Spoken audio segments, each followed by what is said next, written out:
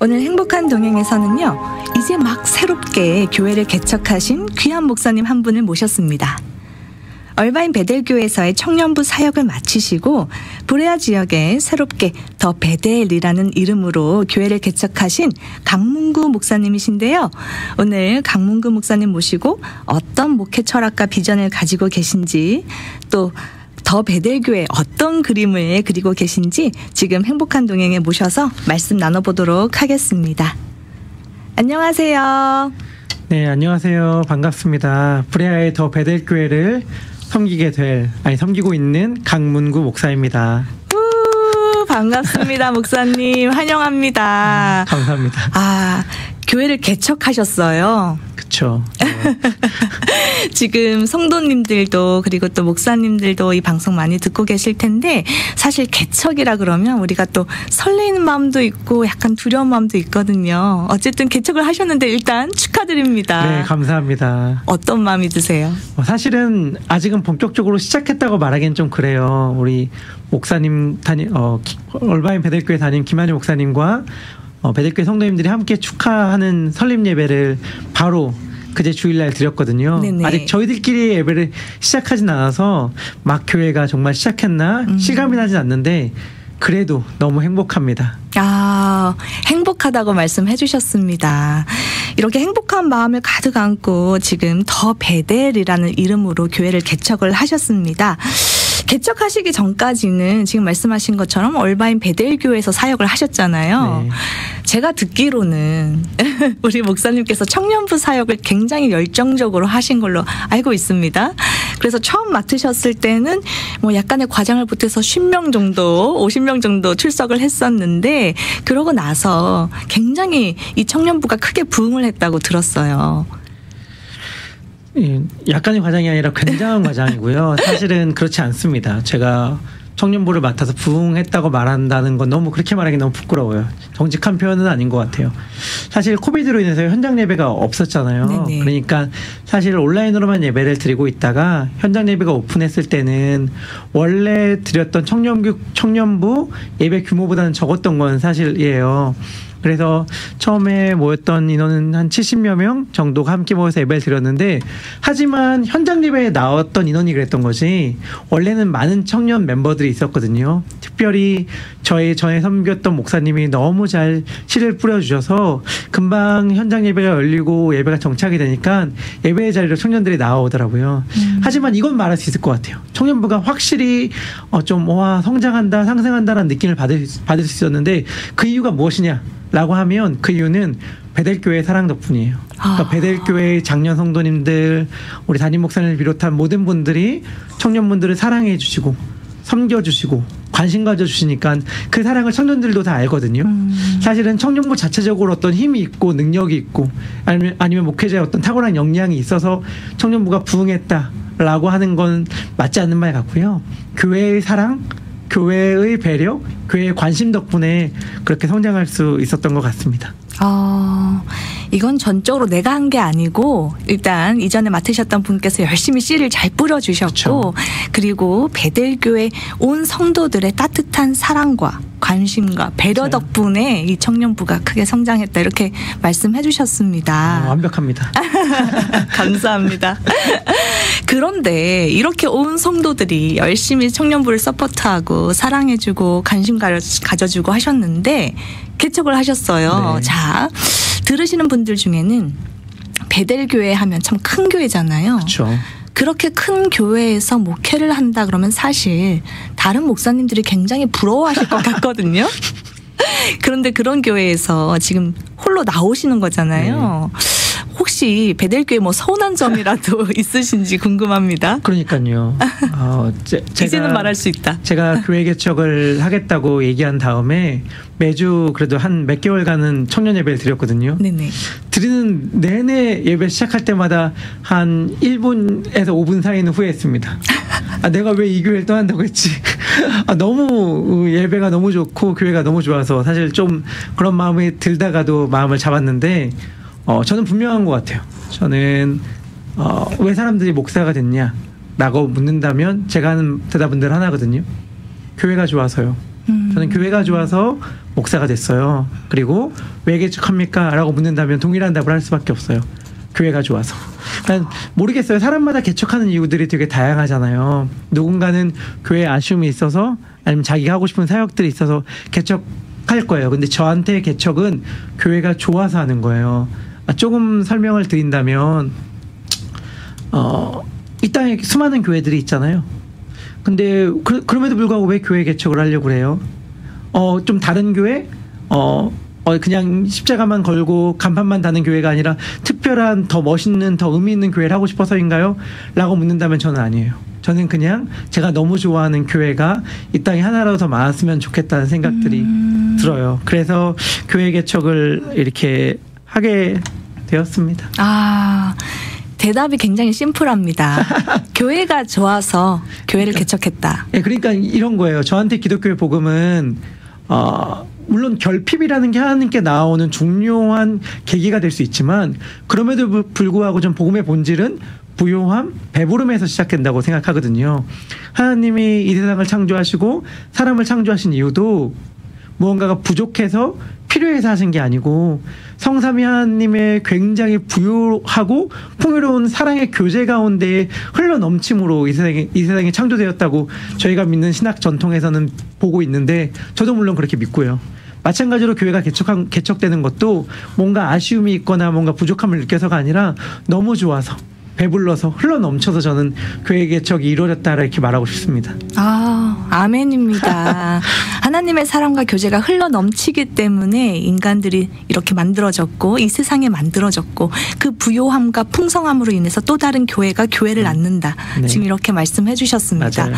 말씀하시는데 우리 목사님 눈빛을 보니까 아 정말 교회를 사랑하시는 분이구나 이런 생각이 들었습니다. 개척하시면서 굉장히 설레이셨나 봐요. 네, 맞아요.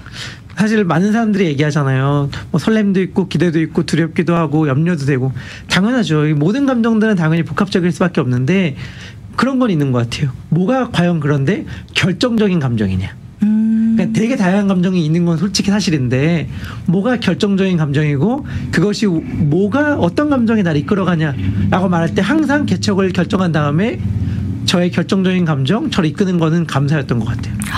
그러니까 두렵기도 하고 염려도 되고 때는 불안하기도 하지만 그럼에도 불구하고 결국에는 감사가 저를 이끌고 가더라고요. 그래서 지금도 저는 감사하다 이렇게 말씀드리고 싶어요. 아, 개척을 준비하면서 다양한 감정들을 경험하셨지만 그 중에서 가장 주된 감정은 감사였다. 그렇죠. 이렇게 말씀해 주셨습니다. 맞습니다.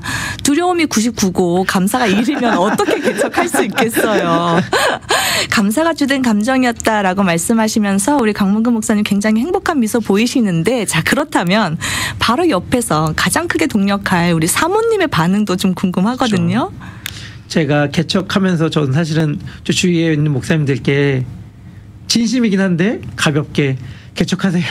개척하세요. 이렇게 말하거든요. 그런데 이 한마디만 딱 들으면 어, 하지 마세요. 이렇게 말해요. 어떤 말이냐.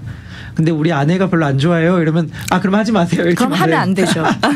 저는 어, 그게 하나님의 가장 분명하고 선명한 사인이었던 것 같아요. 음, 음, 제 아내는 저보다 훨씬 더 지혜롭고 훨씬 더 현실 감각이 있- 있는 분, 분이십니다. 그래서 제가 개척 얘기를 아내한테 꺼내면서도 사실은 두려웠어요. 아. 아내가 이걸 어떻게 이해하고 받아들일까 염려됐기도 했거든요. 뭔가 어, 대책이 아무것도 없었기 때문에. 근데 아내는 사실 개척교회 목사님의 딸이에요. 어, 그렇기 때문에 어떻게 보면 더 두려울 수도 있죠. 근데 제가 아내한테 하나님이 나에게 개척에 대한 마음을 주셨고 지금 분명한 어떤 시기라고 말씀하신 것 같다. 라고 아내에게 이야기했을 때 아내가 두말하지 않고 이렇게 얘기했어요. 나도 그렇게 생각해. 음, 근데 나 진짜 행복했던 기억이 예전에 우리 아빠가 개척했을 때 집에서 예배 드렸을 그때가 너무 행복했다. 라고 얘기하면서 집에서 예배 드리면 되지 뭐. 이렇게 말해주는 거예요. 저는 거기서부터 이미 더베델 교회가 시작됐다고 생각합니다. 아멘. 아, 우리 목사님 복 받으셨습니다. 그렇게 말해줄 수 있는 사모님이 몇이나 될까 또 이런 생각도 해보게 되는데 사실 쉽지 않은 거거든요. 아, 네. 네. 우리 목사님이 교회를 개척하는 아주 힘있고 배짱 좋은 목사님이기 또 하시지만 그 이전에 또 한 가정을 책임지는 맞아요. 가장이면서 한 아내의 남편이잖아요. 그렇기 때문에 아까 말씀하신 것처럼 교회를 개척하는 데 있어서 가장 크게 가장 내 옆에서 동역할 아내의 의견이 참 중요한데 맞아요. 흔쾌히 yes라고 그럼요. 했다고 하셨습니다. 정말 힘을 많이 받으셨을 것 네, 같아요. 힘을 많이 받고요. 저는 아내를 정말 신뢰하기 때문에 저는 배짱은 없지만 아내를 향한 믿음은 있습니다. 그래서 아 내가 능력이 없으면 아내가 어떻게든 날 먹여 살리겠구나 라고 하는 담대함이 제가 있기 때문에 제가 그런 믿음으로 나아갑니다. 네. 하나님을 믿는 믿음과 아내를 향한 믿음 말씀해 주셨습니다. 자, 그러면 오랫동안 열심히 열정적으로 사역했던 청년부 반응도 좀 궁금합니다. 혹시 울며 불며 바지를 잡았는지. 아, 아 그렇진 않고요. 아 글쎄요.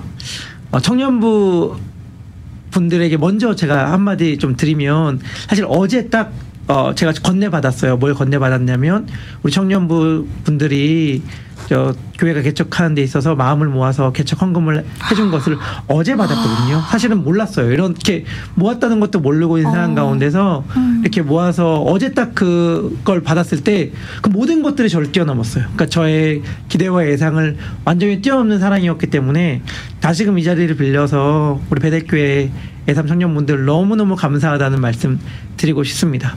제가 사실은 어, 개- 교회 개척을 생각할 때에 청년들에 대한 마음은 하나도 신경이 쓰이지 않았어요. 왜냐하면 아, 관심이 없었거나 마음이 없어서가 아니라 걱정이 되지 않았다는 말인데 그 음. 이유는 뭐냐면 제가 청년들한테 4년 내내 외쳤던 말 때문이거든요. 하나님을 신뢰합시다. 아멘. 근데 너무 행복했어요. 뭐가 행복했냐면 아 내가 그 말을 먼저 살아낼 수 있는 기회를 부여받았구나. 그래서 나에게 4년 동안 내가 했던 그 어떤 설교보다 내가 나아가는 이 길이 강력한 설교가 될 수 있겠다. 그러니까 지금 내가 하는 이 선택들이 예삼 청년들에게는 그 어떤 것보다 강력한 메시지겠다라는 생각이 들어서 청년들을 생각하면서 기뻤어요. 내가 너희들에게 했던 말들이 거짓말 아니고 나도 진짜로 그렇게 믿고 있고 그렇게 진짜로 믿고 나아가는 사람을 하나님께서 어떻게 책임져 주는지를 너희가 봤으면 좋겠다. 그리고 너희도 각자의 삶의 자리 가운데서 하나님을 신뢰함으로 나아갔으면 좋겠다. 이렇게 말을 했는데 어 저는 어, 역시 제 예상보다 우리 예삼의 청년들이 훨씬 더 믿음이 좋고 성숙하여서 제 말을 너무나도 잘 받아들인 것 같습니다. 아, 그래서 그 자리에 내가 없어도 우리 청년부는 하나님을 신뢰하는 사람들이기 때문에 걱정이 되지 않는다. 어, 걱정되지 않을 뿐 아니라 제가 없는 게 더 복이라는 생각이 듭니다. 아우, 그렇게까지요. 우리 목사님께서 4년 동안 사역하시면서 청년들에게 늘 하셨던 말씀, 하나님을 신뢰합시다. 그 설교가 우리 목사님의 삶이 되어서 청년들에게 그 말씀과 삶이 일치되는 본을 보일 수 있는 기회를 얻어서 너무 좋았다라고 귀한 고백을 해주셨습니다.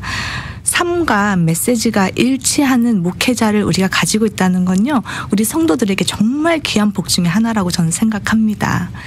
아, 뭐 그렇게 제가 그런 목회자라고 말하면 너무 민망하고요. 그렇게 많이 노력하고 있는 수많은 그리스도인들 중에 한 명인 것 같아요. 아, 아멘입니다. 지금 보니까요, 유튜브에 누가 댓글을 남겨주셨는데, 교회가 좋아서 개척하시는 목사님, 아멘. 어, 맞아요. 아, 저는 교회가 너무 좋아요. 왜냐면 교회는 예수님 몸이잖아요. 그러니까 예수님을 사랑한다고 하는 것들의 가장 강력한 표현 중 하나가 교회를 사랑하는 것 같아요. 음, 그러니까 이, 이 땅에 예수님이 자신의 몸으로 남긴 게 교회인데 교회를 사랑하지 않고 예수님을 사랑한다고 하는 건 제가 볼 때는 아, 형성되지 않는 말 같고요. 사실은 예수님을 사랑하는 가장 어, 우리에게 주어진 중요한 방법 중 하나가 교회를 사랑하고 섬기는 것인 것 같습니다. 아멘입니다. 제가 예전에 섬겼던 교회에서 어떤 권사님께서 그런 말씀 해주셨거든요. 권사님, 어떻게 하면 신앙이 좋아져요? 어떻게 하면 믿음이 좋아질까요? 그런 말씀을 드렸었는데, 그 권사님께서 굉장히 심플하게 답을 해주셨어요. 교회를 좋아하면 돼. 맞아요. 완벽한 답이라고 생각합니다.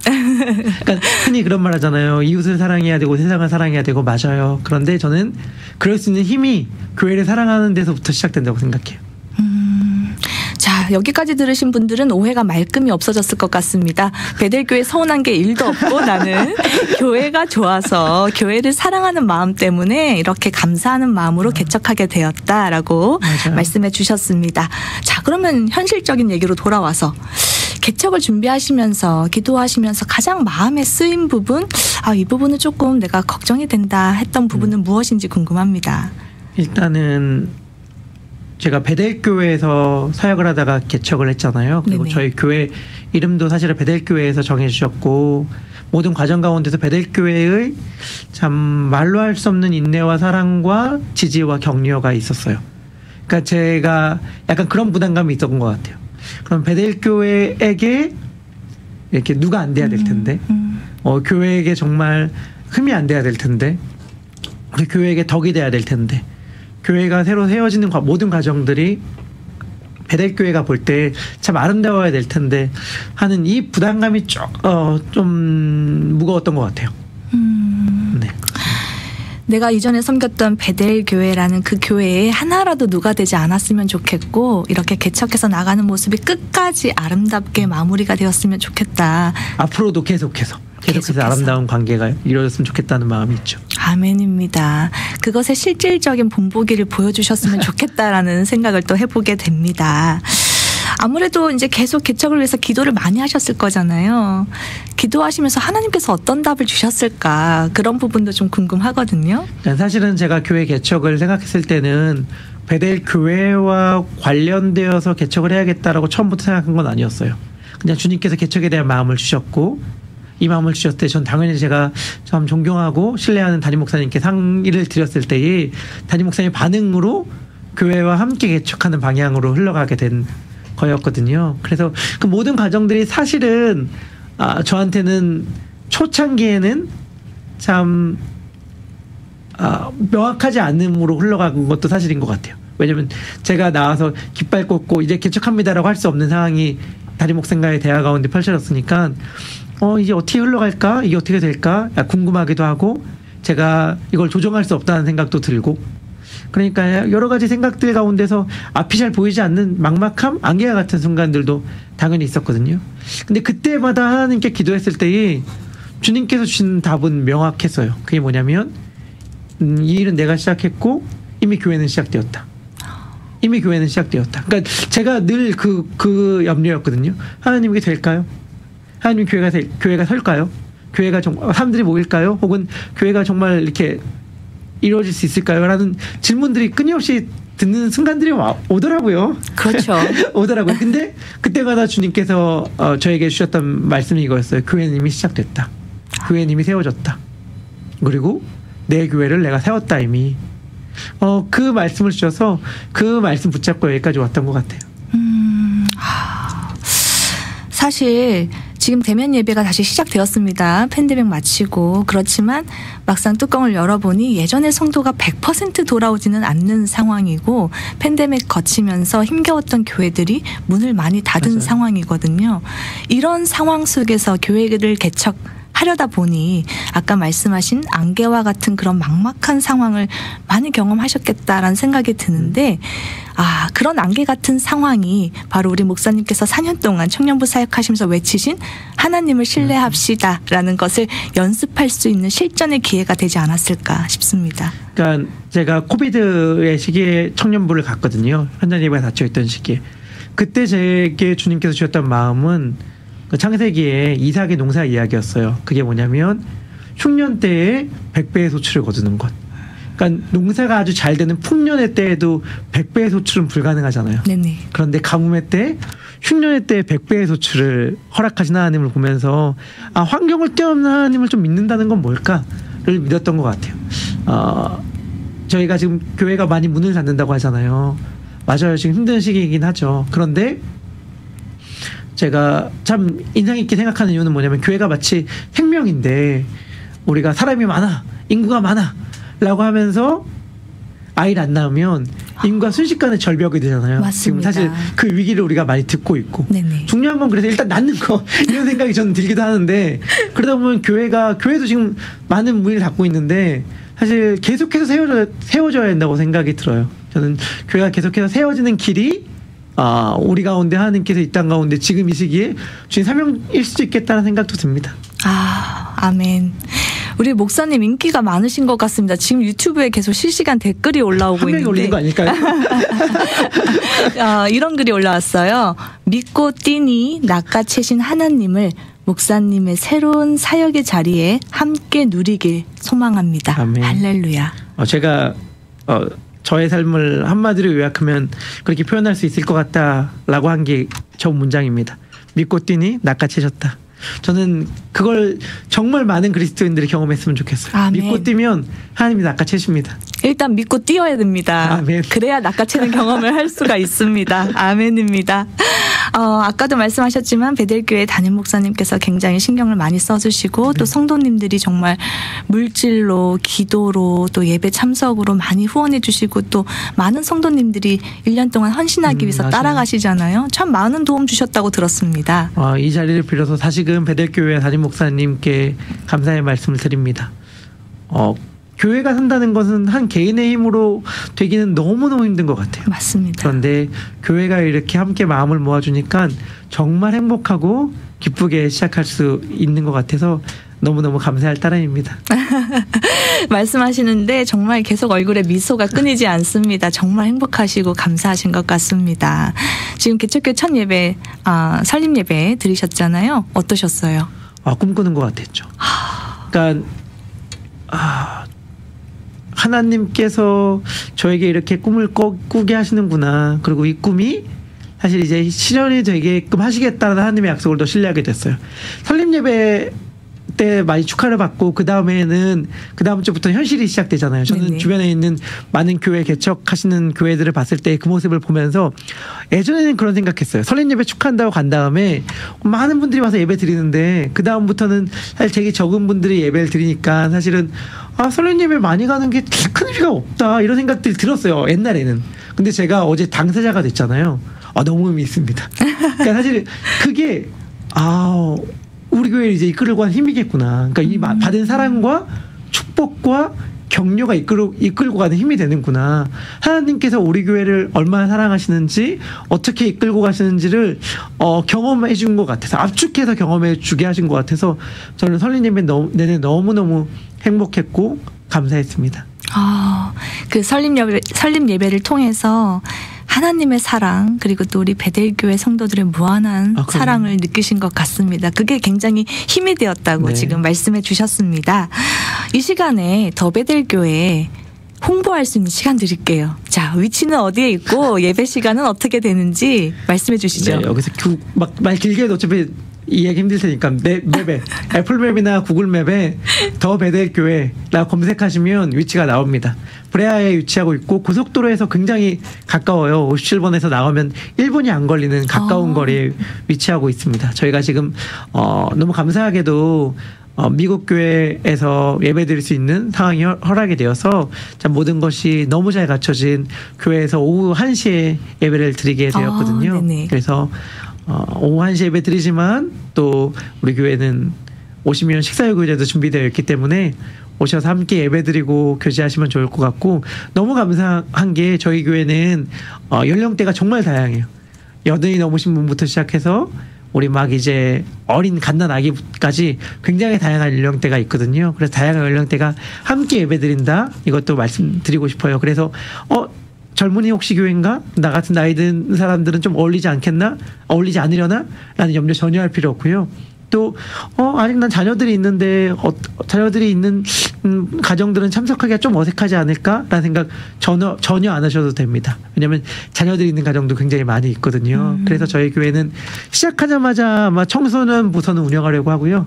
좀 더, 어, 예배가 이제 아- 아직 저희 들만의 첫 예배도 드리기 전이니까. 네네. 예배를 드리면 어린아이들까지 함께해서 예배를 드리려고 준비하고 있습니다. 네, 우리 목사님 더베델 교회 위치 말씀해 주셨는데요. 어, 지금 유튜브 하단에 자막에 저희가 주소와 예배 시간을 넣어 놨습니다. 주소는 480 노스 스테이트 칼리지 블러버드 브레아에 위치하고 있고요. 예배 시간은 어른의 경우는 주일 오후 1시, 그리고 청소년은 주일 오후 1시 30분에 예배를 드릴 예정이라고 말씀을 해 주셨습니다. 좀 많은 분들 함께 해 주셨으면 좋겠습니다. 감사합니다. 더 베델 교회가 어떤 교회가 되길 원하세요? 저는 하나님께 순종하는 교회, 하나님을 잘 믿는 교회, 예수님을 사랑하는 교회, 사람을 사랑하는 교회. 되게 단순하고 추상적이어서 사실은 그게 무슨 의미가 있을까라는 말을 할 수 있는데 어떤 말씀을 드리고 싶냐면 그냥 그때 그때마다 다 잘 반응하고 싶어요. 그러니까 뭐가 딱 어떤 식으로 무조건 이렇게 해야 돼 이렇게 하는 게 아니라 하나님께서 그때 그때마다 하시는 말씀에 잘 귀 기울이되 공동체적으로 귀를 기울이고 함께 듣고 함께 대답하는 공동체가 되고 싶고요. 특별히 어, 두 가지를 생각하고 싶은데 이 지역과 이 시대. 그러니까 하나님은 이 교회를 특별히 이 시기에 이 지역 가운데 두셨잖아요. 그러니까 예수님이 성육신 하신 것은 시간과 공간에 자기를 묶으신 거잖아요. 그리고 성육신 현, 현, 현실 오늘날의 성육신이라고 하면 교회라고 할 수 있을 것 같아요. 교회가 예수님의 몸이니까 그 교회도 역시 시간과 공간 안에 있잖아요. 그러면 이 시간에 이 공간에 있는 이유를 분명하게 알고 그것을 살아내는 교회가 되었으면 좋겠습니다. 아, 우선은 하나님의 뜻을 잘 헤아리고 그 뜻 앞에 공동체가 함께 귀 기울여 듣고 공동체가 함께 순종해서 네. 하나님의 뜻을 잘 분별할 수 맞아요. 있는 그런 교회. 그래서 이 시간, 이 공간, 이 지역을 잘 살아내는 네. 그런 교회가 되었으면 좋겠다라고 말씀해 주셨습니다. 그런 교회가 되리라고 믿습니다. 아멘. 자, 시간이 다 됐습니다. 네. 이제 마지막으로요. 청취자분들께 더 베델교회 많이들 오시라고 초청의 메시지 마지막으로 부탁드립니다. 네, 저희 9월 8일 저희들의 더베델 예배 처음 주일 예배가 드디어 시작됩니다. 주일 한시고요. 많은 분들 환영합니다. 오셔서 정말 함께 주님을 예배하고 주님을 찬양하고 아름다운 교제를 나갈 수 있으면 좋겠습니다. 주일날 아멘입니다. 기다릴게요. 자, 오늘은요. 브레아 지역에 새롭게 더 베델이라는 이름으로 교회를 개척하신 강문근 목사님과 함께 했습니다. 항상 새로운 시작에는 설레임과 또 경험하지 않은 것에 대한 두려움이 공존하는 것 같은데요. 그 시작의 첫걸음을 떼는 더 베델 교회와 강문근 목사님 위해서 함께 마음 모아 기도해 주시기를 부탁드리고요. 새로운 출발에 힘찬 응원 드리면서 오늘 인터뷰는 여기서 마무리하도록 하겠습니다. 목사님 더 베델 화이팅입니다. 감사합니다. 감사합니다.